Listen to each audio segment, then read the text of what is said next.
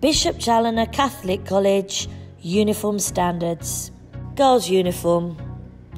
Black blazer with school badge. School tie, royal blue and silver.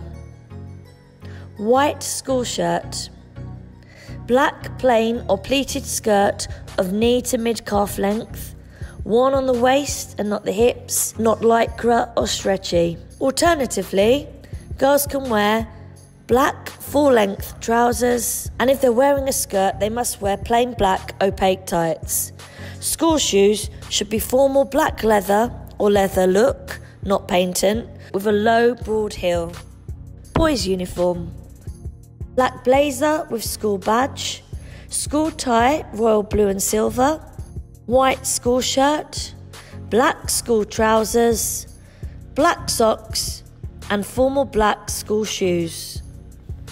Students are also allowed to wear royal blue long sleeved v neck sweatshirts, and blue school shirts are also acceptable. Sports kit, girls and boys. Navy polo short sleeve shirt with school badge. Students may also purchase a navy half zip jumper for when the weather becomes colder. There is an option to wear navy shorts, leggings, tracksuit bottoms, also with the school badge. White above the ankle socks, lace up sports trainers, no Velcro, and no fashion trainers allowed.